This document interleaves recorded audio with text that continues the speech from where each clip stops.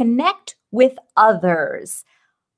What I mean by that is in several ways. Number one, if you talk to someone else who's going through similar things like you are going through, doesn't it help to know you're not alone? I think that just having a friend is, of course, helpful if they if you can talk things out with them not just a friend who says yeah tell me what's going on and i'll i'll give you my advice no let's talk about what's going on for both of us because we both get it.